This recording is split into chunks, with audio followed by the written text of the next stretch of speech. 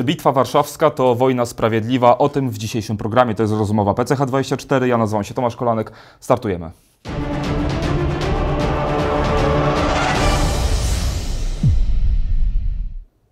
A moim i Państwa gościem jest dzisiaj pan profesor Marek Kornat. Kłaniam się panie profesorze. Dzień dobry. Panie profesorze, 102. rocznica Bitwy Warszawskiej. Czy Bitwa Warszawska to wojna sprawiedliwa? Zanim chyba jednak odpowie Pan na to pytanie, proszę, muszę Pana poprosić o w ogóle o definicję. Co to jest wojna sprawiedliwa? Czy wojna w ogóle może być sprawiedliwa? Wie Pan, no, wojna sprawiedliwa to jest przede wszystkim wojna obronna, ale y, wojna y, przeciwko nieprzyjacielowi, który chce zniszczyć naszą cywilizację i usunąć wiarę z tego świata, jest z definicji wojną sprawiedliwą. Nawet jeśli y, przybierze postać y, zaczepną. A więc ja nie mam żadnych wątpliwości y, co do tego, że wojna polsko-sowiecka była wojną sprawiedliwą, bo państwo to, które mieliśmy jako wroga, dążyło do likwidacji naszej świeżo odzyskanej państwowości. Y, Dla Polski w planach sowieckich miejsca nie było. Wbrew temu, co się mówi, owszem, był plan sowietyzacji Polski. Y, Stworzenia tu prowincji y, sowieckiego państwa. I w tych warunkach nie do pozazdroszczenia byłby los naszego narodu, także i Kościoła. I walczymy z nieprzyjacielem, który sam w sobie jest inkarnacją antycywilizacji, jest wcieleniem antycywilizacji. No, oczywiście możemy przypomnieć tu, iż y, na Zachodzie dzisiaj jeszcze są wyznawcy teorii, że Polska z łatwością mogła osiągnąć e, pokój z Rosją Lenina, przyjmując jego ofertę z y, kwietnia 1920 roku. Tyle tylko, że ta oferta istotnie na papierze podana nam, naszej stronie, naszemu ministrowi spraw zagranicznych Stanisławowi Patkowi, była ofertą na pewno nieszczerą, bo ja sobie nie wyobrażam inaczej, y, aby mogło być. To, to jest niemożliwe, aby rząd sowiecki y, godził się na spełnienie wszystkich naszych życzeń, włącznie z terytorialnymi na wschodzie. E, Innymi słowy, y, rzekomo Lenin dawał nam na tacy granice idące dalej na wschód niż potem granica ryska, ale myśmy tego nie przyjęli, a Piłsudski poszedł na Kijów. Jeżeli przyjmiemy taką interpretację, no to oczywiście trzeba wtedy potępić polskiego naczelnika państwa, trzeba potępić w ogóle politykę polską i trzeba powiedzieć, że Sowieci nam dawali wszystko, co chcieliśmy. Z czego się wzięła ta oferta, panie profesorze, w kwietniu 1920 roku? dla y, przerzucenia odpowiedzialności za wojnę na Polskę i po to, aby Polska dała y, się nabrać, za przeproszeniem, zdemobilizowała swoją armię, a potem planowano ruszyć na nas i był plan operacji zaczepnej przygotowany w sztabie y, moskiewskim, już w sztabie generalnym Armii Czerwonej. A więc jeżeli przyjmiemy tezę, że y, odpowiedzialność Polski za wojnę w jej kulminacyjnej fazie y, latem 1920 nie istnieje, bo Polska otrzymała nieuczciwą y, ofertę pokojową, aczkolwiek ubraną w piękne słowa i atrakcyjne pomysły, to y, była to wojna oczywiście obronna. Dodajmy, że mm, Związek y, Sowiecki później już, kiedy powstał w st- w grudniu 1922 roku, zawsze powracał do tej tezy, że to Polska ponosi odpowiedzialność i winę y, za tę wojnę. Y, Żądanie mm, polskiego rządu, aby e, Sowieci wycofali się z granic Rzeczypospolitej przedrozbiorowej, spowodowało y, kulminację y, konfliktu. Do rozmów pokojowych nie doszło. E, a więc strona polska odrzuca sowieckie propozycje pokojowe, a ja bym powiedział pseudopokojowe. Są jeszcze dzisiaj historycy, nawet i w Polsce, którzy uważają to za błąd. Dla mnie y, jest wielką zasługą Józefa Piłsudskiego, że odrzucił sowiecką hertę pokojową, bo być może kilka miesięcy później byśmy się nie zdołali obronić. Ale, Ale wie pan, jeszcze pozwolę sobie jedno zdanie wchodząc słowo dodać, mianowicie dyplomacja mocarstw zachodnich, zwłaszcza brytyjska, uznała winę Polski po yy, odrzuceniu yy, tych propozycji pokojowych, y, o czym warto pamiętać i to powoduje do dzisiaj ambiwalencję w ocenie y, zachowania Polski na arenie międzynarodowej w tamtym czasie. Jedni uważają bowiem, że były rzekomo szanse y, wynegocjowania pokoju. Y, jeszcze może powiem jedną rzecz. Są ludzie, którzy uważają, że świetnie postąpiła Estonia, bo zanim w kwietniu Polska dostała propozycje pokojowe od Lenina, w lutym, w styczniu właściwie 1920 roku, takie same propozycje dostali Estończycy i zawarli pokój. Tyle tylko, że jest taki dokument, jak negocjowano pokój y, z Estończykami. Estończycy mianowicie zażądali y, odszkodowania za to, że bandy bolszewickie weszły na ich terytorium, grabiły, mordowały.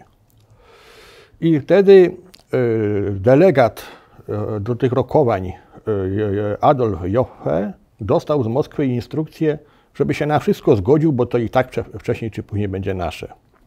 To pokazuje metodę negocjacji Sowietów y, y, z Estonią. To, że Estonia ocalała, no bo ocalała do 1940 roku, jest owocem polskiego zwycięstwa nad Wisłą. Y, no to jest oczywiste. Jeśli ktoś tego nie widzi tu Jungtim, no to znaczy, że bardzo źle u niego z rozumowaniem historycznym. A więc podsumujmy, Polska Polska prowadzi wojnę obronną, mimo że atakuje, mimo że atakuje na Kijów razem ze sprzymierzoną armią ukraińską Petlury. Y, tego się nie da podważyć. Y, no oczywiście można w nieskończoność polemizować na przykład z Rosjanami na ten temat, ale to do niczego nie prowadzi. Teza moja jest prosta i konsekwentna. Oczywiście, panie profesorze, ale no, podkreślił pan, że wojna sprawiedliwa to przede wszystkim wojna, wojna y, obronna, ale na, na momencik zostawmy... Taką te, była. Tak, a na momencik zostawmy te kwestie Bitwy Warszawskiej, panie profesorze, a przenieśmy się do lat 30. E, pan wygłosił y, kilka wykładów na temat tego, czy faktycznie padła propozycja do polskich władz, y, że jeżeli zaatakujemy tutaj trzecią Rzeszę, to czy wy pomożecie y, z, z, z, drugiej strony? Czy w tym przypadku, gdyby faktycznie chciano za pomocą wojny powstrzymać trzecią Rzeszę Adolfa Hitlera, nie, nie, niemieckich nazistów i tak dalej, i tak dalej, to czy też byłaby to wojna sprawiedliwa, wojna prewencyjna? Mnie się tak wydaje, bo y, Hitler dochodził do władzy pod sztandarem porwania całego narodu Y, do odwetu za e, klęskę 1918 roku. I y, nie od rzeczy będzie przypomnieć to, co powiedział Auschwitz na, tle, na, tle, na terenie obozu, e, byłego obozu, papież Benedykt XVI, że garstka zbrodniarzy, kierując się zwodniczymi obietnicami odzyskania honoru, porwała naród niemiecki w przepaść. Mnie się tak wydaje, natomiast ja sądzę, że to jest punkt widzenia nasz dziś. Natomiast y, punkt widzenia y, naszych y, partnerów z Zachodu, zwłaszcza Francuzów, był taki, że nie ma mowy o akcji prewencyjnej, bo to tak, jakby chory popełnił samobójstwo, kiedy się dowie o ciężkiej chorobie. To nie jest rozwiązanie. Wojna prewencyjna to tak, jakby samobójstwo popełnił chory, który się dowie o ciężkiej chorobie. Tak powiedział jeden z dziennikarzy francuskich nie rozwiązuje to problemu zdrowotnego wtedy tego pacjenta, tyle tylko, że on sobie odbiera życie, prawda? Więc powiedziano y, to y, wyraźnie wtedy. A więc nie było zrozumienia dla tezy o wojnie prewencyjnej, ale wojna prewencyjna istotnie byłaby wojną o, za, o zatrzymanie niechrześcijańskiego dodajmy jeszcze, niechrześcijańskiego, barbarzyńskiego reżimu narodowego socjalizmu, który stopniowo dopiero ukazywał światu swoje oblicze. Oczywiście, no wie pan, nie da się zaprzeczyć, że wojna prewencyjna to jest najbardziej złożone zagadnienie oceny wojny każdy, kto napada, mo może bowiem powiedzieć, że prowadzi wojnę prewencyjną. No, obserwujemy to, panie profesorze, przecież w trakcie tak, wojny na Ukrainie. Rosja tak napadła, żeby walczyć z nazizmem, tak? Obronić się przed nazizmem. Tak jest, więc y, ja bym powiedział w ten sposób, że no ciężko sobie wyobrazić, żeby taki na przykład autorytet, jakim jest, a przynajmniej powinien być papież, wydał y, jakiś dokument, gdzie by pochwalił ideę wojny prewencyjnej to byłoby moim zdaniem ryzykowne.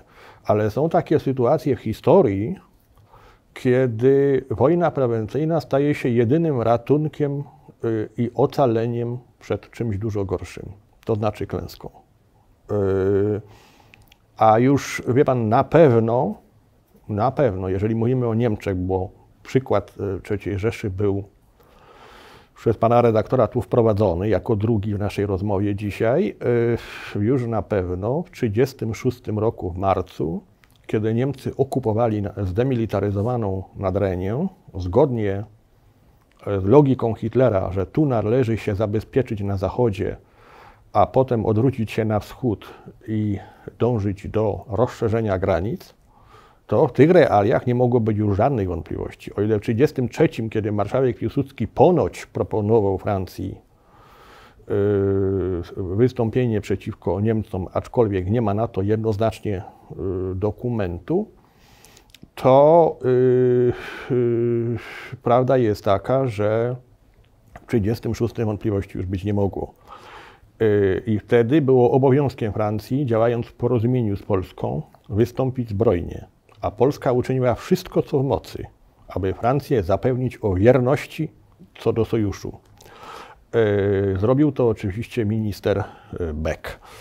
E, może jeszcze wrócę do kwestii na chwilę, bo ktoś może poczuć tak trochę się jakby, jakbym chciał ominąć problem. Mianowicie nie ma żadnego konkretnego dokumentu sztabowego albo dyplomatycznego, gdzie pojęcie wojny prewencyjnej byłoby wysunięte z Warszawy w 1933 roku y, i zaadresowane do Paryża. Y, ale trwały tajne konsultacje.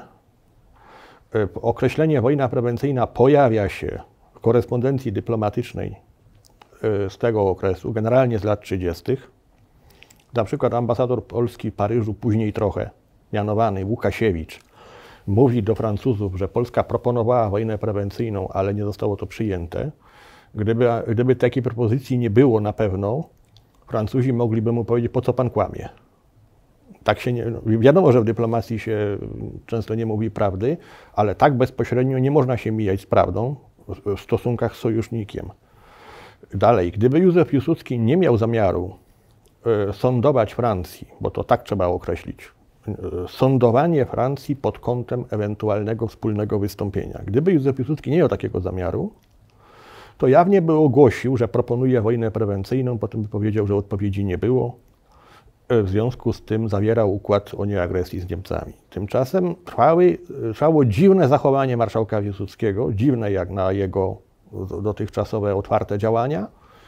I coś jest na rzeczy, ale prawdopodobnie to się wymyka wymyka e, źródłu. Nie wszystko, co się dzieje, zostaje ujęte w źródła e, historyczne, a historyk no, ma tyle do dyspozycji, ile te źródła e, dają. Oczywiście, oczywiście. Panie profesorze... Zresztą temat na, o wojnie prewencyjnej z 1933 roku jest tematem na osobną rozmowę, może ją kiedyś ju, nagramy. Już teraz serdecznie zapraszam, panie profesorze. Wróćmy teraz do Bitwy Warszawskiej. Jak, panie profesorze, świat Zachodu, Francja, Wielka Brytania, Włochy, Niemcy, Kościół patrzyli na to, co się dzieje na terytorium Polski w 1920 roku? To też bardzo szerokie pytanie. Ja bym odpowiedział tak, że każdy tak patrzył, jak dyktował mu światopogląd, interes i ogólne wyobrażenie świata. To ja, ja, ja dopytam, panie profesorze, czy któreś z tych państw patrzyło na polską obronę jako na wojnę sprawiedliwą? Czy już tymi kategoriami wtedy nie operowano po Wielkiej Wojnie? Ja myślę, że koła katolickie całego świata patrzyły na Polskę z zachwytem, a, przede, a wcześniej przed zwycięstwem z przerażeniem, że dokonuje się zamordowanie świeżo odrodzonego katolickiego państwa. Ale koła katolickie były w defensywie na Zachodzie. Koła lewicowe, liberalne przyjęły sowiecką interpretację przyczyn wojny, o której mówiłem przed chwilą. A mianowicie, że była oferta pokojowa i została odrzucona. To po pierwsze. Po drugie, koła lewicowe i liberalne mówiły, że tworzenie państwa ukraińskiego w myśl sojuszu Piłsudski-Petlura jest mrzonką i służy rozbiciu Rosji, na co nie wolno pozwolić.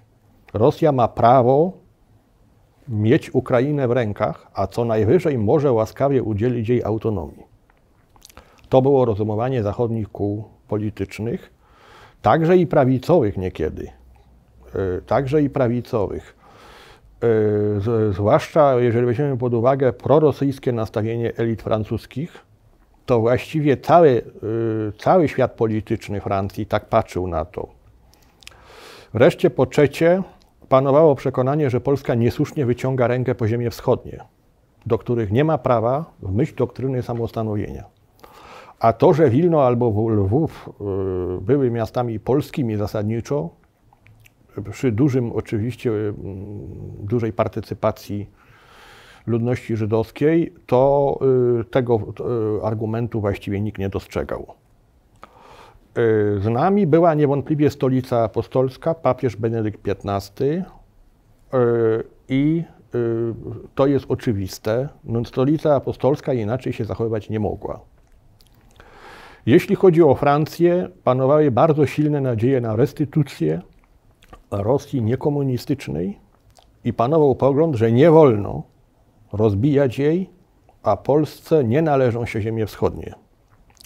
Koła brytyjskie żywiły nadzieję, zwłaszcza y, Labour Party w tej chwili mam na myśli, no i liberałów, y, u których wybitny przedstawiciel Lloyd George piastował urząd y, premiera, to ich spojrzenie było takie, aby zaproponować Rosji normalne, pokojowe współżycie z Zachodem. I pojawiła się wtedy w zarysie, to może, może dodam jako historyk myśli sowietologicznej, pojawiła się wtedy już w zarysie teoria konwergencji. Lloyd George mianowicie mówił, że jeżeli dojdzie do rozwoju stosunków handlowych z Rosją sowiecką, to ona się ucywilizuje i y, barbarzyńskie oblicze bolszewizmu zostanie poważnie zmienione, złagodzone w drodze ewolucji. To jest bardzo błędny pogląd, bardzo groźny pogląd, ale takie y, poglądy występowały. Kiedy mowa o Stanach Zjednoczonych y, w roku 1920, musimy pamiętać, że to jest kraj, który po przegranej przez Wilsona batalii o ratyfikację pokoju wersalskiego, to jest kraj, który się wycofuje z aktywnej polityki europejskiej a co do Rosji, nie mam żadnych wątpliwości, że Amerykanie patrzą na, na nią podobnie jak Francuzi. To znaczy, yy, Stany Zjednoczone uważają, że Polska ma prawo się oczywiście bronić, jak jest napadnięta, ale nie powinna przekraczać linii Bugu na wschodzie. I prawo do niepodległości ma też niewątpliwie Finlandia i Armenia. Armenia.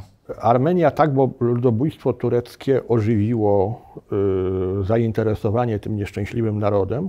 I już Wilson powiedział, że y, Armenia powinna mieć własne państwo i też Wilson był zwolennikiem, żeby, y, żeby y, Turcja poniosła straty terytorialne na rzecz tego państwa. A więc stanowisko, stanowisko Zachodu wobec wojny tej jest dosyć ambiwalentne. Nam trochę to przesłania y, obraz rzeczy, bo mamy tę wspaniałą książkę Lorda Dabernona, y, 18 decydująca bitwa dzieja świata, notabene człowieka, który przyjechał, przyjechał do Polski Y, z nastawieniem wyraźnie nie, nam nieżyczliwym. Właściwie to Polaków widział jako barbarzyńców Lord Abernon, ale dla mnie to szczerze powiedziawszy to jest zachwycające, a nie y, przygnębiające, że ktoś taki nabrał do nas uznania. Zobaczył tu zjednoczony naród, bo taka jest prawda, walczący o swój byt, stawiający na jeźdźcy twardy opór. E, twardy opór, co jest ujęczone zwycięstwem. E, więc e, jak ktoś mówi, że Lord Dabernon nas nie lubił i nie powinniśmy go cytować, to to nie jest mądre moim zdaniem, bo to, to właśnie o to chodzi, że nas nie lubił, pogardzał, ale tu zweryfikował swoją opinię. I potem był gorącym zwolennikiem uwzględniania interesów Polski już jako ambasador w Berlinie. Pamiętajmy, że w dobie lokarneńskiej czy raczej przedlokarneńskiej, przed 25 rokiem, to jest ambasador w Berlinie i rzecznik porozumienia polsko-niemieckiego, y, Lord Abernon. Ale teraz chciałem powiedzieć to, co zacząłem, mianowicie nie wolno pogląd Lorda Dabernona rozciągnąć pars pro toto, bo tak dobrze nie było. Y, byli ludzie, którzy Bitwę Warszawską zinterpretowali jako pokaz polskiego imperializmu. Y, inni opowiadali, że Y, wygrał tę bitwę za nas y, generał Weigand. Jeszcze inni mówili, że Polska tym swoim zwycięstwem tylko przysporzy Europie kłopotów, bo rozciągnie swoje granice w nieuzasadniony sposób za daleko na wschód i to będzie zarzewie nowych powikłań dla pokoju.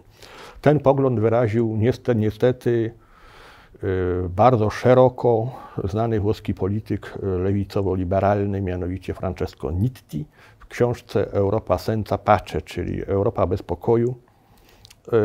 E, tłumaczona ta praca była między innymi na język francuski, zdaje się niemiecki, no i oczywiście był też przekład polski. To tylko tak na marginesie. Także w 1920 roku na pewno działała Solidarność Katolicka, która ożywiła dobre uczucia do nas i zaczęto na Polskę patrzeć jako na nowo antymorale Christianitatis. No ale koła y, inne, niekatolickie, wolne od tego y, schematu myślowego, patrzyły na to wszystko inaczej. Czyli można powiedzieć, że tylko tak naprawdę te koła katolickie były sojusznikami Polski w tej Konserwatywne też, y, generalnie prawicowe. Tak, ale, ale tak jak pan powiedział, to właśnie cały czas wyłania się przerażający obraz Pierwsza zdrada Zachodu, jak pisał profesor Andrzej Nowak. No tak, y, słusznie oczywiście y, tak y, historyk może zatytułować rozważania na ten temat. Pamiętajmy, że zobowiązania, które zostały ujęte w pisemną formę na konferencji w SPA w Belgii, gdzie się zebrali przywódcy mocarstw przymierzonych, alianckich, w celu y, wyegzekwowania odszkodowań od Niemiec, bo nie chcieli płacić Niemcy odszkodowań y, Zachodowi, mocarstwom zachodnim, uważając za, nie, za duże i zbyt duże i niesprawiedliwe. Otóż na tej konferencji był spisany układ, na mocy którego pełną kapitulację podpisał premier profesor Władysław Grabski. Y, godził się na wszystkie żądania, jakie podyktował Lloyd George e, w sprawie Zaolzia, Gdańska, Wilna, a także i na e, rozejm z Sowietami na warunkach brytyjskich. Ale drugą, drugą częścią tego porozumienia jest obietnica przyjścia narodowi polskiemu z pomocą przed mocarstwa Antanty i to dotrzymane nie było. No bo jak pan wie zapewne, y, osoby, które nas słuchają, y, do Warszawy owszem przybyła francuska misja wojskowa, kilkuset, ponad 100 oficerów, w tym przyszły prezydent Republiki Francuskiej, major Charles de Gaulle, major wtedy, armii francuskiej, ale to przecież nie jest tak, że oni się bili na froncie. Oni przybyli tu jako doradcy. Y, to zwycięstwo jest odniesione własnymi rękami i na tym polega jego chwała i wielkość. To jest zwycięstwo, kiedy dochodzi do głosu e, zryw e, ujarzmionego wcześniej narodu bez pomocy obcej. Oczywiście nie, nie, należy skreślać z rachunku dziejowego tego faktu, że Francja nam była życzliwa, ale to nie jest tak, że tu przybył żołnierz francuski i za nas wygrał i nie jest też tak, że przyjechał Weigand, który dowodził, albo który przywiózł teczce cudowny plan. Nie, tak nie było. Oczywiście, oczywiście. Panie profesorze, ja tutaj chciałem jeszcze skupić się właśnie na kwestiach tej wojny sprawiedliwej właśnie i ogólnie podejścia Kościoła do tego wszystkiego, co się działo w Polsce w 1920 roku. Dlaczego Kościół tak mocno zaangażował się w, w, w tę wojnę, w pomoc e, w rekrutacji e, ochotników, te wszystkie, w organizowanie e, tych wszystkich skupień modlitewnych właśnie za pomyślność ojczyzny, za pokonanie wroga. Zastanawiam się nad tym, ponieważ no, Dzisiaj panuje przecież y, przekonanie, że Kościół jest przede wszystkim pacyfistyczny. Dlaczego Kościół nie głosił has haseł pacyfistycznych, a zostawcie to wszystko, dajcie to, a będzie spokój? Y, Kościół nie jest pacyfistyczny. Pacyfistyczny może być tylko pseudokościół. Kardynał Parolin uważa inaczej, panie profesorze. No być może, ale to już trudno. Y, Do tego jeszcze wrócimy. To już trudno. Kościół nie może być pacyfistyczny. Jeżeli pacyfizm rozumiemy oczywiście w ten sposób, że jest to doktryna stawiająca pokój jako najwyższą wartość spośród rzeczy tego świata. E, jeżeli tak, to w takim razie pokój za wszelką cenę jest ideałem życia. E, w tych warunkach nie ma możliwości, moim zdaniem, dalszej rozmowy z kimś, kto reprezentuje taki pogląd, bo do niczego nie dojdziemy. Jak on nie ustąpi ze swojego stanowiska, a ten drugi też nie. E, więc Kościół nie jest pacyfistyczny. Pacyfistyczny może być jedynie pseudokościół. E, pseudokościoła, e, nauki, przepraszam, chciałem powiedzieć, pseudokościoła niewiele może wyniknąć dobrego. Natomiast e, wydaje mi się, że no, trzeba powiedzieć to, iż wtedy w czasach, o których my mówimy, mamy na myśli oczywiście sytuację 102 lata temu, mamy rok 1920, no nie było innego możliwego zachowania y, stolicy apostolskiej i kościoła, tym kościoła polskiego, niż takie, jakie było. Bronimy do ostatka swojej ojczyzny, kościoła i cywilizacji, to jest jasne, a zagrożenie było naprawdę niewyimaginowane. To nie było tak, że to nie było tak, że jacyś propagandziści polscy stworzyli wizerunek bolszewika po to, by go odczłowieczyć. E, nie. Y, to, co się działo w Rosji z religią e, po przewrocie październikowym y, w listopadzie, się tak wyrażę, bo wiadomo o co chodzi, w 1917 roku, no to jest doświadczenie mające rangę poligonu. Tam, tam wypróbowano jak należy rozprawić się z religią. Y, I tylko szaleniec mógłby uważać, że ten sam, to, to, to samo instrumentarium nie będzie użyte w Polsce.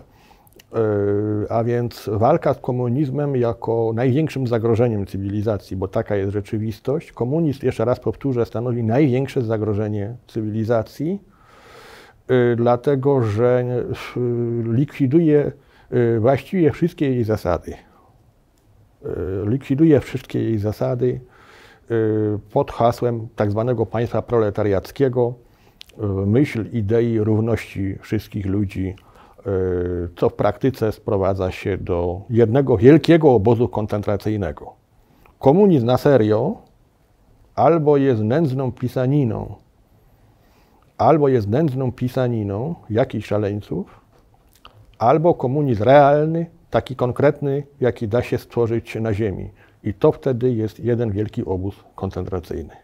Y, nie jest u mnie y, te, żadnych, y, nie mam żadnych intencji do przesady w tym momencie. Związek Sowiecki Stalina jest gigantycznym obozem koncentracyjnym. To jest gigantyczny obóz koncentracyjny. I to jest, to jest komunizm naprawdę. Ale w 1920, panie profesorze, polscy kapłani przestrzegali bardziej przed komunizmem, czy bardziej przed Rosją podczas mszy świętych za ojczyzną? Jedno i drugie, ale wątek zagrożenia komunistycznego stanowił zawsze miejsce centralne. Komunizm. Tak. Zagrożenia komunistycznego w, w kaznodziejstwie, w ogóle w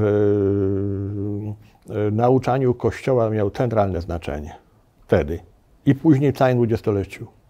A teraz? No, teraz to y, komunizm należy do historii jako taki. Y, są katolicy, którzy uważają Rosję dzisiejszą za państwo niosące nadzieję. Myśmy już kiedyś o tym mówili. Nadzieję dla chrześcijaństwa. Nadzieję dla chrześcijaństwa i nie wiem skąd biorą te swoje przekonania. Ja tego nie rozumiem i tego nie ukrywam, że nie rozumiem. To w ogóle jest pomieszanie poplątaniem, które do niczego nie prowadzi, daje tylko określone profity Rosji. Rosji dzisiejszej, napadającej, grabiącej, zaorującej sąsiedni kraj, tylko w imię y, wielkomocarstwowych ambicji jednego człowieka, bo szczerze powiedziawszy, tak by to należało powiedzieć. Y, chcę powiedzieć tutaj taką oto rzecz, że jestem głęboko przekonany, że naród rosyjski chce wojny z Ukrainą, naród rosyjski chce wojny z Ukrainą, ale gdyby nie ambitny dyktator, to by jej nikt nie zaczął. Naród rosyjski nie, nie, nie lubi myśleć o Ukrainie jako wolnym sąsiednim państwie, tylko raczej żywi się hasłem, że to wszystko jedna Rosja, ale gdyby nie ambitny dyktator, powtórzę jeszcze raz, tej wojny by pewnie nie było. Tak jak wojny 1920 roku. Tylko, że tam było kilku ambitnych dyktatorów. No, generalnie jednak e, w elicie sowieckiej e, głos Lenina zawsze był w tamtym czasie jeszcze ultima ratio. E, głos Lenina był ultima ratio i mówienie, że było inaczej, nie ma jednak odzwierciedlenia w źródłach historycznych. Przy całych zdolnościach, bo one były niewątpliwie znaczne, Trockiego, jest to osoba numer dwa w państwie y, bolszewickim.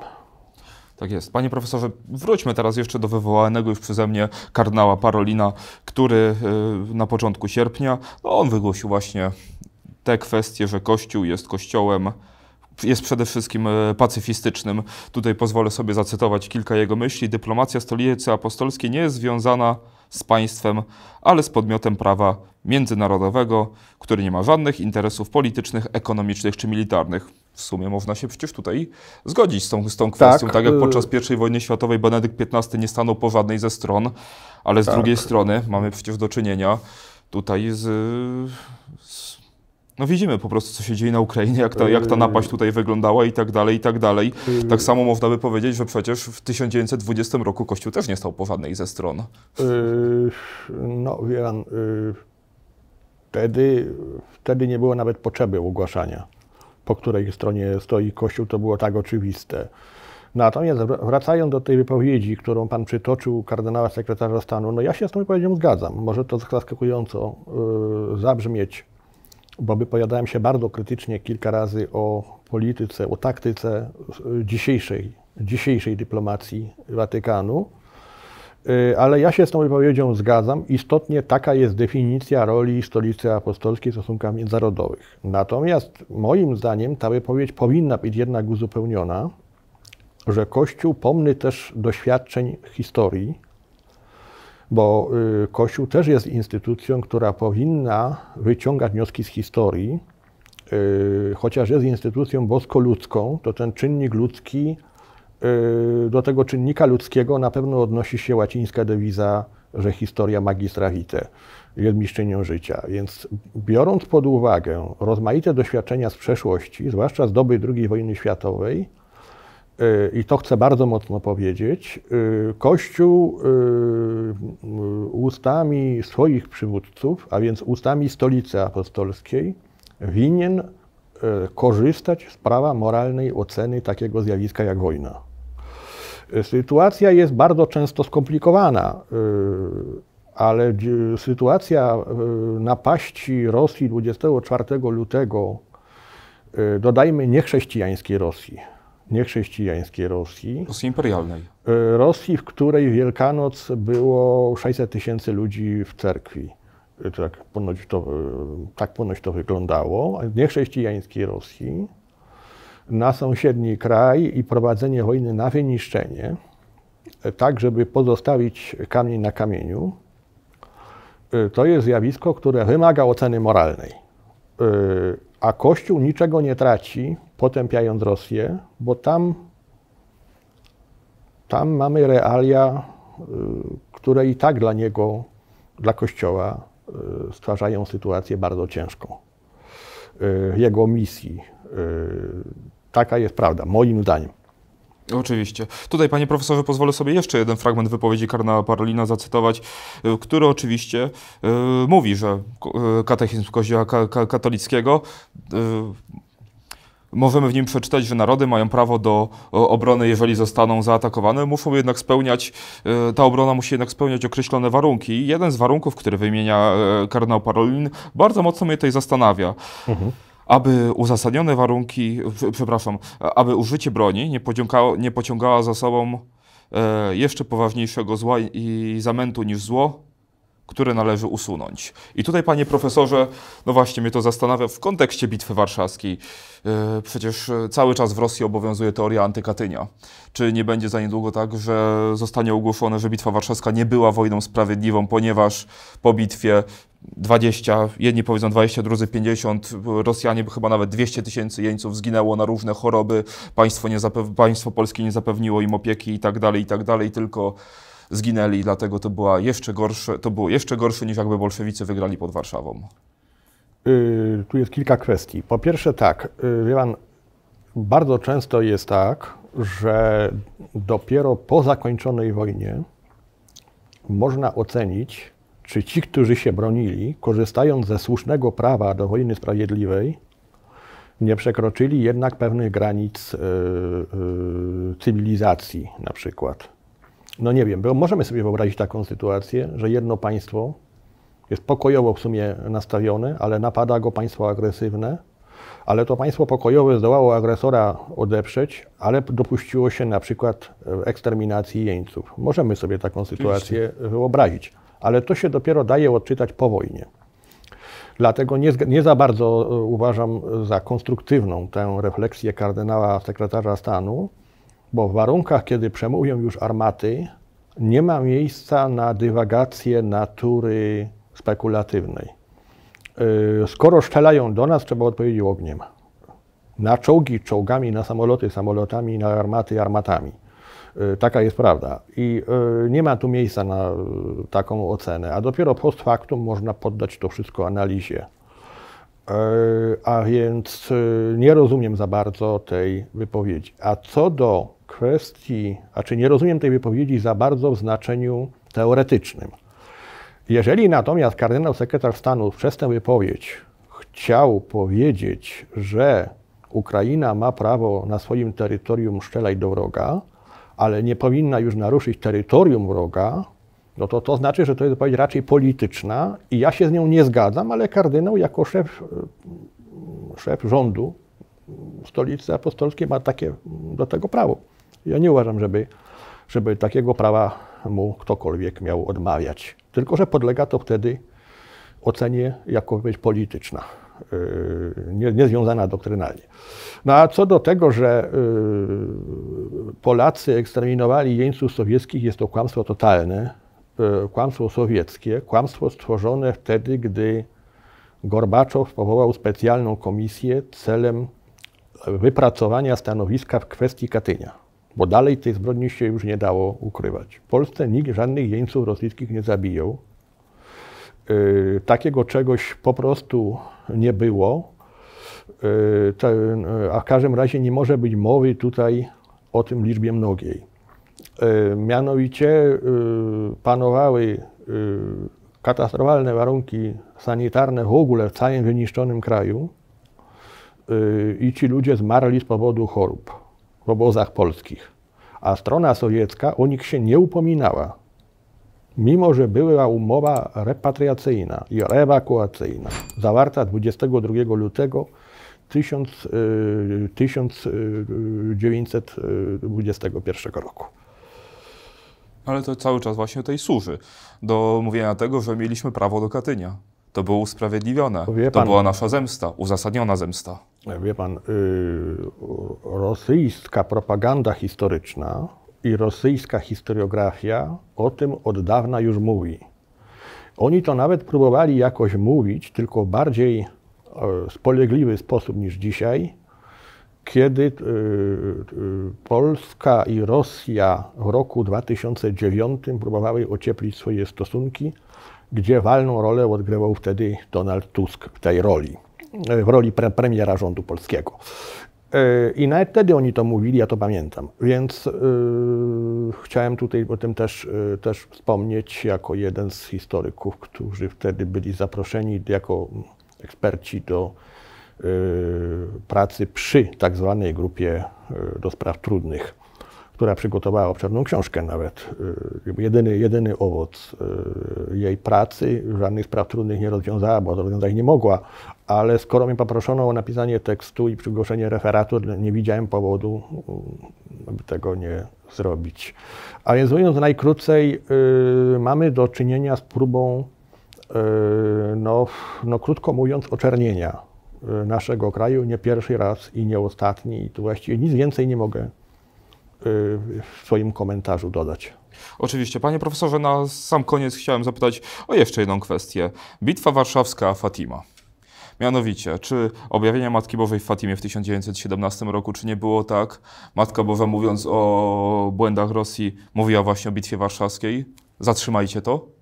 Zatrzymajcie to, bo będzie źle.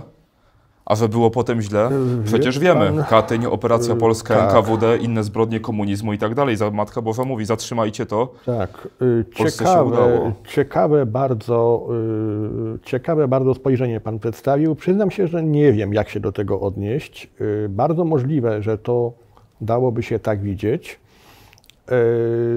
To, że Kościół polski odwoływał się do stawiennictwa Y, Matki Najświętszej no jest rzeczą y, znaną i oczywistą, natomiast objawienia fatimskie wtedy nie były popularne.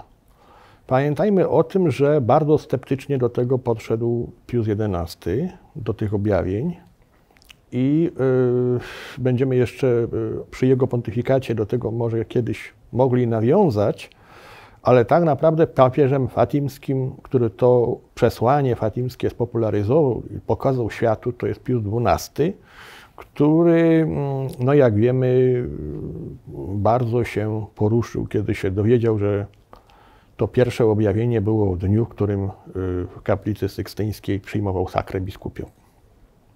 13 maja 1917. To jest Dzień Święceń Biskupich y, Pacellego. No bo nie może jechać do, do, do Bawarii y, nuncjusz bez sakry. Prawda? E, no więc krótko mówiąc, e, Fatima to jest dopiero e, moment, kiedy jest, mamy pontyfikat mamy pontyfikat Piusa XII i zaczyna wtedy Kościół coraz mocniej tę tajemnicę rozpatrywać, tak bym to powiedział. O, oczywiście rozumiem, panie profesorze. A dlaczego dzisiaj tak mocno próbuje się podkreślać, że pod Warszawą nie było wizerunku Matki Bożej, że nie uciekali przed nią bolszewicy? Komu przeszkadza Matka Boża w związku z tym w Bitwie Warszawskiej? Ja tego nie za bardzo y, rozumiem. Y, komu to przeszkadza? No tym przeszkadza, którzy chcą e, zdemitologizować, jak sami mówią, historię Polski, pokazać ją w taki sposób, żeby nie było niczego poza taką jakąś pragmatyczną historią, powiedzmy, gdzie liczą się masy, liczą się liczy się życie codzienne i tym podobne rzeczy. Niczego wielkiego i świętego nie ma. A już to, że y, y, są wydarzenia, kiedy zbieg okoliczności przynosi y, nieoczekiwane zwycięstwo temu, kto nie miał na nie żadnych szans, to się już nie mieści w głowie tym, którzy taką historię produkują. Ja to tak widzę osobiście. Ja sądzę, że, że tu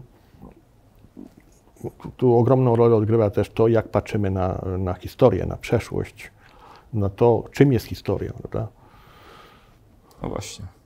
No właśnie, czym jest historia? Z tym pytaniem, szanowni państwo, państwa zostawimy. Bitwa Warszawska, nie dajcie państwo ulec propagandzie. Bitwa Warszawska była wojną sprawiedliwą. Polska przed mowem chrześcijaństwa. Polska zatrzymuje bolszewików.